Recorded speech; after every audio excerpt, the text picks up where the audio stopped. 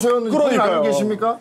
포레스텔라 분들이랑 동점 우승 네네. 한 거랑 저 개인적으로는 또 올킬 네네. 무대였거든요. 그렇죠. 예, 그랬어가지고 굉장히 좀 의미가 있지 않나 싶습니다. 굉장히 어떻게 보면 좀 든든한 동지가 되셨을 것 같아요. 그렇죠. 포레스텔라. 맞아요. 그 이후에 다른 음악 방송에서 또 아 만났어요? 만났는데 너무 반갑더라고요. 네네. 그렇죠. 같이 좋은 일이 있었고. 맞아 맞아. 예, 예. 그래서 또 거기서도 인사하고 근데 또 신기한 거는 팬분들끼리도 친해지셔가지고 와. 서로 막 응원해 주시고 하는 모습이 되게 보기 좋은 거예요. 예. 하지만 하지만 부르의 명곡 하지만 오늘은 황중왕전에서 라이벌로 만났습니다.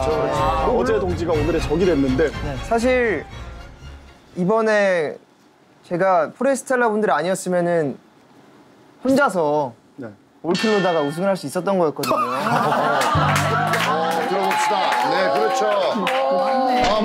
뭐, 막장이구나. 아, 이거 좀 희석됐다. 포레스텔라. 어, 이번에 약간 야망을 조금 민규 씨, 지금 이런 얘기를 들었는데 어때요? 어, 너희들만 없었으면 나 혼자 단독 올킬인데. 어, 저희 그때 같이 케이크도 불고 김재환, 포레스라, 파이팅! 사진도 찍고 질척거리지 마요. 너, 예. 예, 오늘 저희도 예. 어, 만만치 않게 준비했습니다. 그 이제 나머지 세 분은 좀 그래도 다 재밌게 이렇게 좀 받아주시는 것 같은데 고림 씨는 진짜 기분 나쁘신 것 같아요 지금 진짜. 아, 괜찮습니다. 저희는 뭐 지난 왕중왕전 때 올킬 우승을 했기 때문에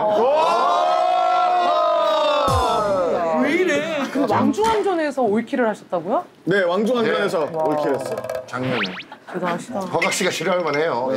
그러니까 이런 분들은 빨리 명예 졸업을 회의를 한번 제안을 하고 너무 강하잖아요.